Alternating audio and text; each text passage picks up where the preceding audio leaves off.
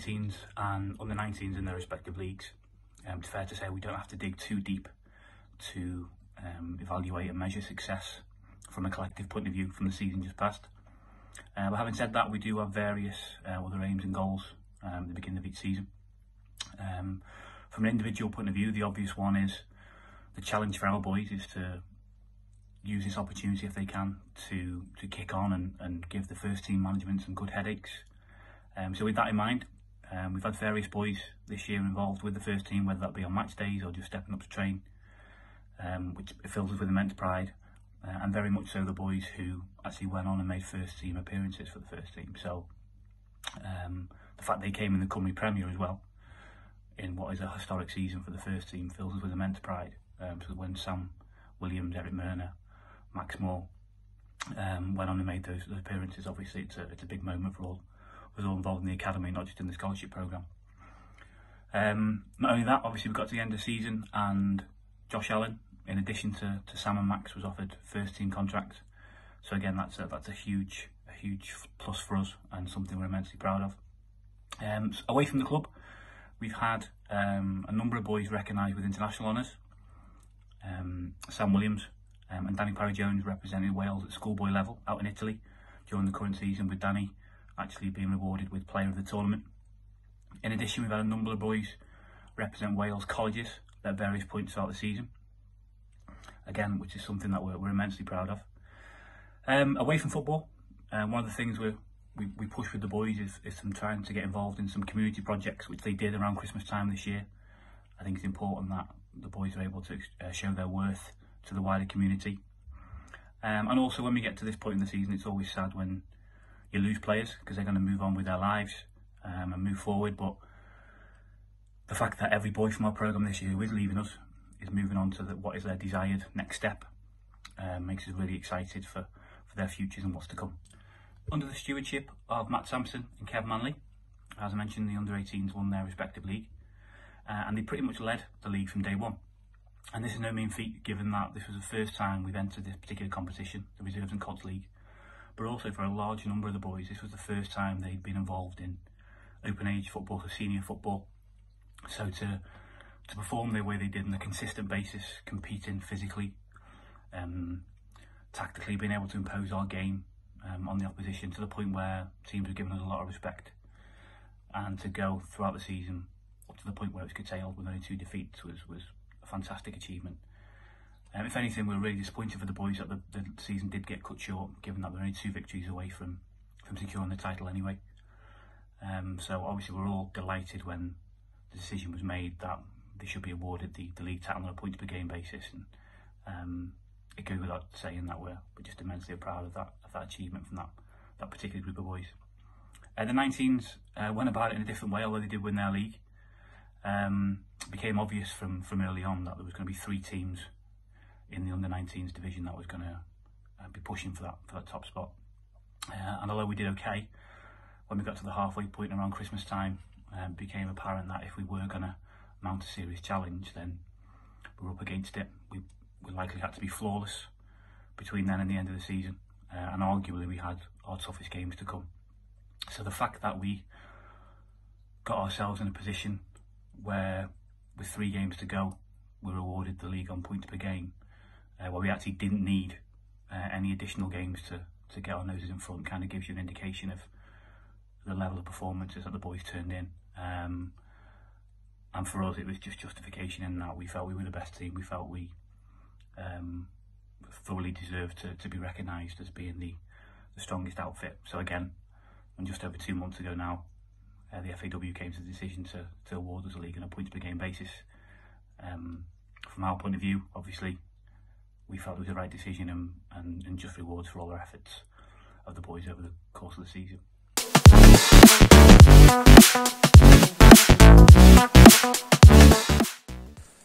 This season has seen us win the league, and we've won it quite comfortably as well. There's been some very good teams in the league, but they weren't uh, anywhere near that to our standard, and that just goes to the testament of the year group that we've taken this year. Um, the recruiting last year was second to none, and it's shown in the performance and the attitude of the players that we have now. Um, so, for a single player to raise their head above everyone else is pretty special, especially since it's the rest of the players that are nominating them.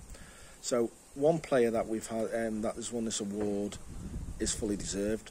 He's been the leader of this age group and uh, this uh, the under 18s for the whole season. Uh, he lives and breathes every single kick of the ball. Um, he supports every player on the team. His conception of the game is, is particularly impressive. Um, his leadership and his attitude and willingness to win and score goals as well all goes to prove why he's won this award. So I'm pleased to announce that this season's under 18s Players Player of the Season has gone to Ben Bewley. Ben, congratulations, pal. So,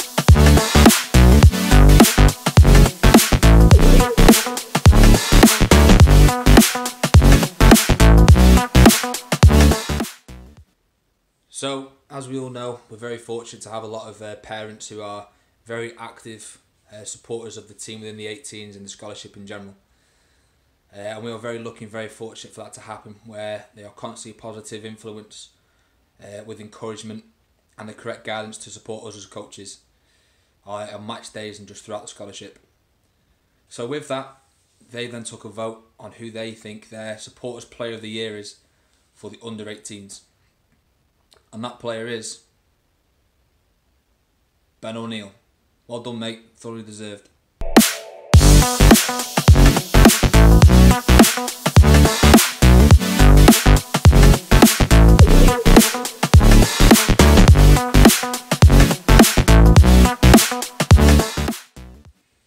So, uh, for the coaches player of the year for 2019-2020 for the under 18s uh, with Connah's Quay, uh, me and Kev sat down, had a little chat uh, just about who is in the mix. So as we all know, we've had an absolute fantastic season where we've competed in the league throughout, and then obviously we've won it, which is a great accolade for us as a scholarship, as a club, uh, and as a team. So in order to win the title, you've got to have great players within there and strength and depth throughout, which we are very lucky to have uh, within the scholarship. So when me and Kev sat down, like I've mentioned at the beginning, and uh, two or three names both appeared, but there's one name that I mentioned and one name that Kev mentioned as well. So with that and that person's uh, performances throughout the year have been very solid throughout and very steady all the way through. In addition to that, he's been very influential in uh, in our team's performances and in the goals. And in addition to that, his defensive duties definitely go unnoticed. So, the coaches player 2019-2020 for the under 18s is Ben O'Neill. Well done, mate.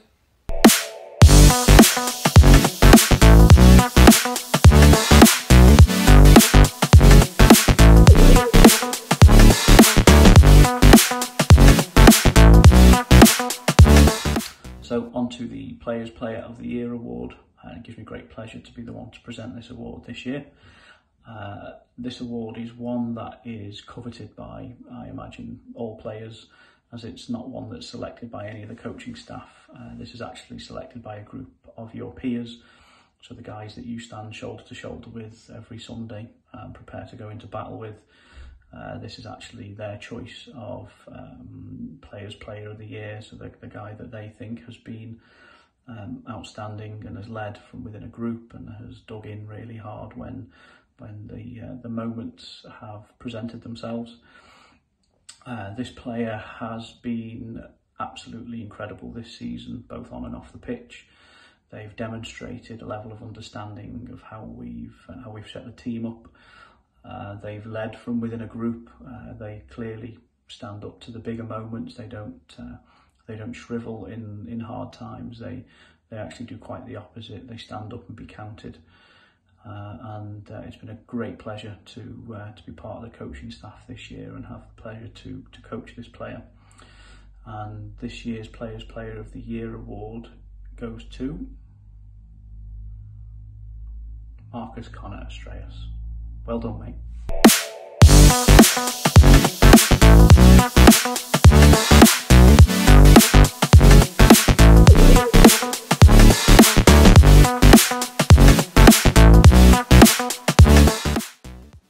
Hi, I'm here to, to announce the Supporters Player of the Year. Uh, he was uh, he had an outstanding season. Um, I think he represents what a Nomads player uh, should be. Uh, technical and tactical is fantastic, but uh, uh, his uh, capacity of, uh, of uh, working hard, of fighting uh, for this Nomad shirt is uh, uh, was absolutely incredible. So the supporters play of the year is Marcus.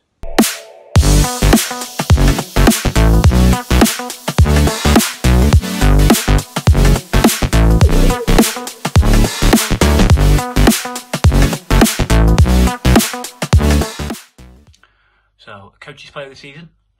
Uh, when Rich, Antonio, and myself sat down to discuss who were the main candidates for this award, I know it's quite cliched, but it's fair to say there were a number of, of boys in the in the running. Um, I think it's fair, given the success the group had this year.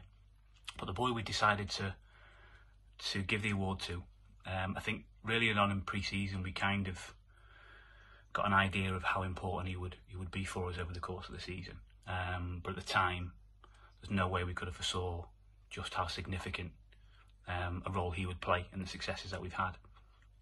Uh, the best way I can describe this boy is, is that he personifies everything that we were good at and everything we wanted from the group.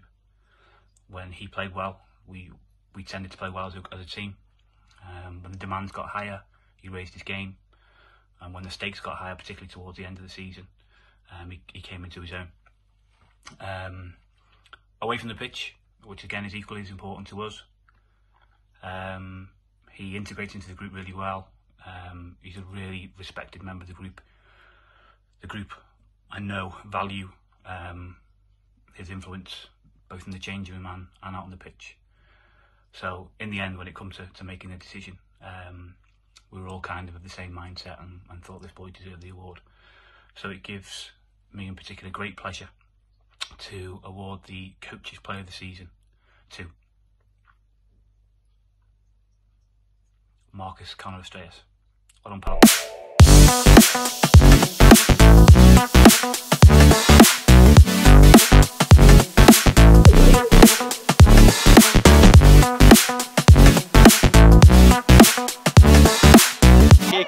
A mae'n Wedyn sy'n Declan Pŵl ar draws y cwrt chwech, yna mae Callum Morris. Ian Mawr ar yr ochr besa, i gefn! Yn croesi y pen ei fyny amdani, Farquhar! Morris yn ebyn Roberts, mae'n disgyn i Ryan. Oli Bacari. Bacari yn y cwrt Cosby, gwaith da gan Bacari! Pŵl Mae Roberts yn rhythro allan Declan Pool yn... Syml, tuag at Bacare, sy'n heibio, codi'r bel, dros Benner y golwr. Peniad ymlaen, mae'n syrthio Jamie Insel. Mae di methu un cico smot yn y tymor yma. Facuson sy'n codi, ac mae'n syrthio... Cael y bel, mae Bacare wedi casglu. Care! Oh! Mae'n gweld rhediad Bacare. Bacare yn cael y bel. Insel. Insodd yn ei gosod i Becare. A dyna lle mae'r bas yn mynd. Y croesiad yn Inselon at. Mae'n ceisio dal i fynd. Y bel yn syrthio Insodd! Cwriwr Canarfon oedd ei tannu. A'r bel yn Oyens! Ti fas mae Bacare mynd, Pilber Inglis ar hyd, Wyneb yn gol! Arbediad gwych, Di yn symethu'r rheoli hi! Chwanegu hunan at y postyn pella Michael Wilde. mae law! Ar ei drod chwyth, Bale yn gwyro, a mae mewn gan... Euricol Cosby ar ei drod chwyth ar Gyd Isiel! Ac mae... Mae'n chwilio i groesi, a dyna Insel! Roberts, y croesia! At y postyn pella, at Wild. Yr amddiffynwr dan bwysau, a gyn... le gan Bacare, Michael Bacare! Yn... Clwstwr y chwaraewyr, a mae'n disgyn i'r eilydd Bacare! Yn chodi nôl i fyny, tygaeth Bacare! Tygaeth Morris ymlaen, tygaeth Insel! Disney ar ergyd. O! Oh, Mae Roberts! Mae'n cyrraedd Wild, y golwr ni harbed i! Bol. Un sol Y golwr ar gwiriad. Hwn yn mynd i hun o gwmpas hat! Bella arbediad rhagorol! A mae yna gyda Declan Pŵl. Pŵl! No'r chwith. Robert yn croesi'n dda. Michael Wilde yn cwl. A bod Karen dilyn. I gyfeiriad George Horan! Old yn i gysio i gosod ti Cyrran. Dyma George Horan! A gyntaf fod i creu Cyrran! oes yn we. Bacare greu ti bedau. Wrth i cefna nhw. Ydyn nhw arna lwy'n gelwydd gi. O, dyn! O! Nel gynta'r gêm i Cey Cona a Mai Gwael. Creu Cyrren, y croesiad, einsol ar pen i...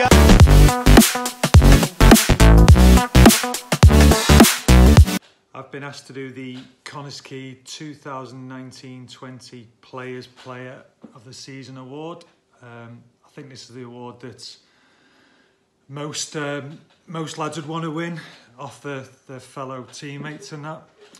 Um, I didn't vote for him, but I think it's a worthy winner this year, and um, and well done. So this year's winner is Mike Wilde. Well done, Mike.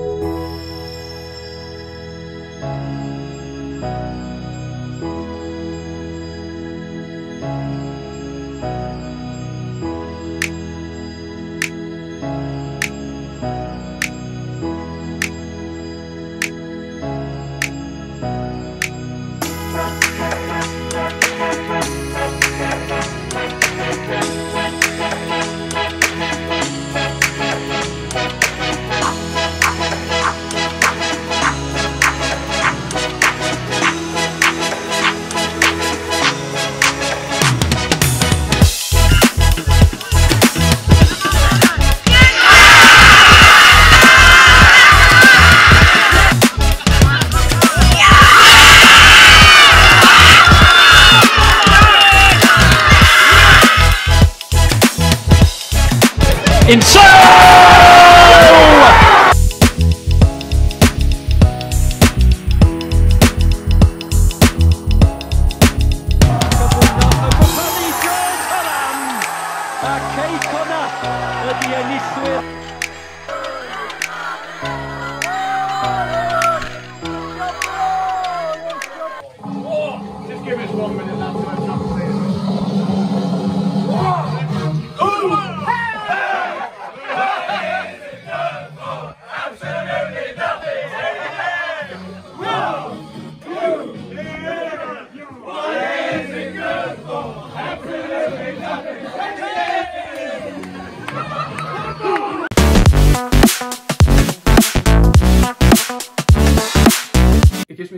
pleasure to announce the winner of the Supporters Player of the Year award. Hopefully you've all seen our vote on social media over the past few weeks. I'm pleased to say we've had over 500 votes on this award, so a big thank you to everyone who's taken the time to place a vote. On to the results. In third place was Declan Poole. In second place was Jamie Insall. And the winner of the Supporters Player of the Year award made 42 appearances for the Nomads in all competitions this season, missing just one game. And he's played a huge role in helping the Nomads have the best defensive record in the JD Cymru Premier League this season, with the team keeping 10 clean sheets and conceding just 19 goals during the league campaign. All told, the Nomads kept 20 clean sheets and conceded just 28 goals in all competitions whilst this player was on the pitch. If I had to pick out a highlight of the season for this player, it would be his man of the match performance away at Rugby Park in the Europa League. That night, he played a massive part in helping the Nomads defeat Kilmarnock 2 0 on, 2-0 on the night, 3-2 in aggregate to take the club into the second qualifying round of the competition. So the winner of the Supporters Player of the Year award is the Nomads number one, Lewis Brass. A huge congratulations on winning this award, Lou.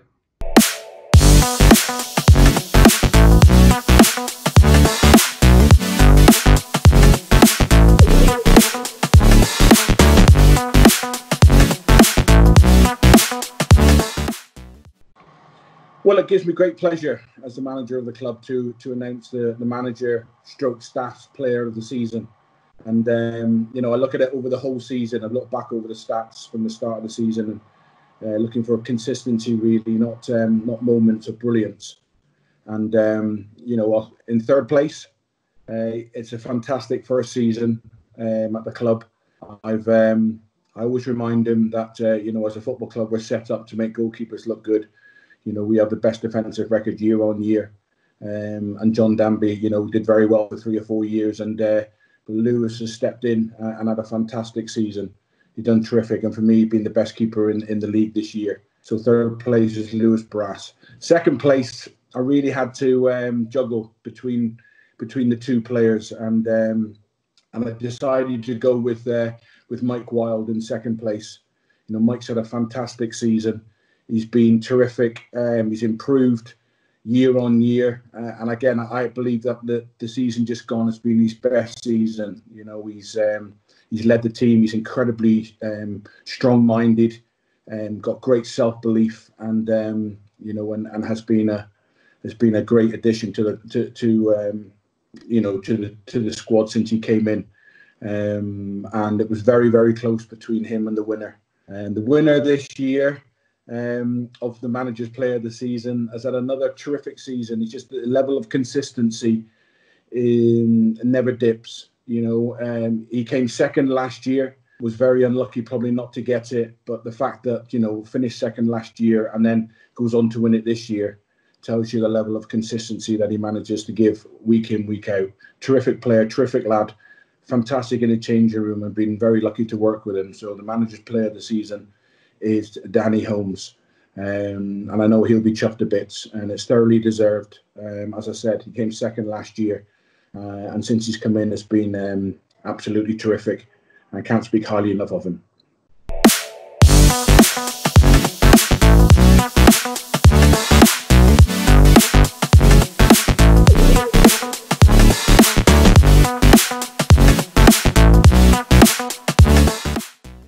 You know, Nick, it's been a fantastic season. You know, we think back to the Kilmarnock game when the draw was made, and um, you know, it was probably the, the the fixture that would suited us best. You know, logistically, um, and we were magnificent over you know over two two games, um, and it set us up really well for the season. You know, we started great. We we the too many draws early on, you know, but then we found our form and we went so long undefeated. Um, you know, when we, we went on to win the League Cup. We had a decent run in the in the Welsh Cup, um, and we ultimately won the league, and rightly so. You know, and um, I can't speak highly enough of the players. You know, the the demands that um, Jay, Craig, and myself put on them week in, week out. It's it's what's expected from footballers. It's what we've worked at. You know, when I played when I played and Craig at that level. Um, you know, we know what's needed. We know the lengths you have to go to um, to be successful. Uh, and the boys embraced it this year and were fantastic. You know, before, you know, we've done the Player of the Year award and um, Managers Player of the Year award, sorry. And I think sometimes, you know, there's players who are so consistent in their game that they're overlooked.